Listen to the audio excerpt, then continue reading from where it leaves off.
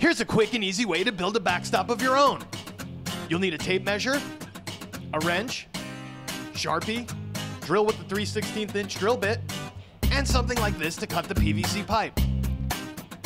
For material, you'll need three 10 foot long pieces of 1 and a quarter inch Schedule 40 PVC, 12 3 inch long number 8 machine screws, 12 number 8 half inch spacers, 12 1 and a quarter inch fender washers, 12 number 8 flat washers, 12 number 8 nylon insert hex nuts, 3 1 and a quarter inch PVC couplers, 2 1 and a quarter inch elbows, and a number 12 by 1 and 3 quarter inch knotted nylon netting 8 feet wide by 9 feet tall. First thing you'll need to do is measure the pipe and cut six pieces that are 46 inches long.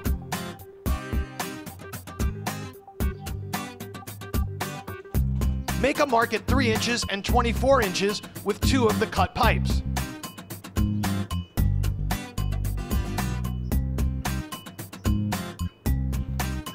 Then drill, making sure the holes line up. You'll see what I mean in a minute. Take one of the little flat washers and put it on the screw. Insert it into the pipe, add the spacer, fender washer, and then the hex nut. Repeat this with all three of the other holes you drilled.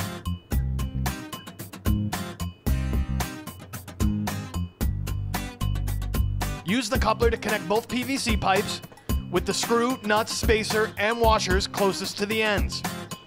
Here's what I meant by aligning the holes. Notice the screws are all pointing the same way.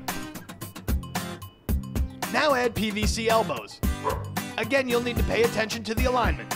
The screw should be pointing up and the hole in the elbow should be facing down. This piece will be the top of your backstop. Put it to the side and grab two more pieces of your PVC pipe. For these two pieces, you'll need to drill at 3 inches, 16 inches, and 32 inches. Like before, pay attention to the alignment.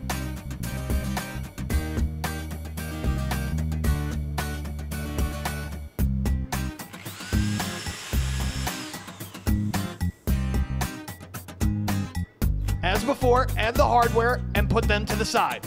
These are the top left and top right portion of the backstop.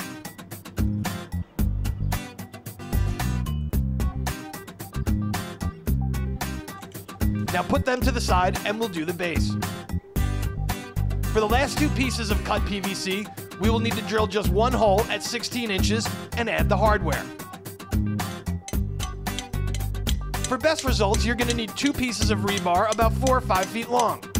Hammer the rebar into the ground using the top of the backstop as a guide.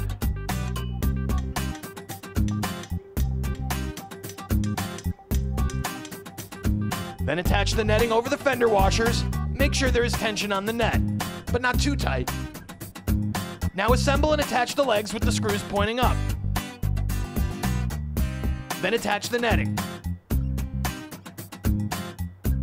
Pick the backstop up. You'll probably need some help.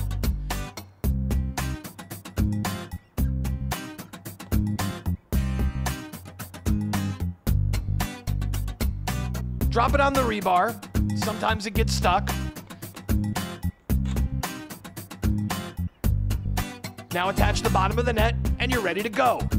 Bungee cords on the very bottom are a nice addition. There you go.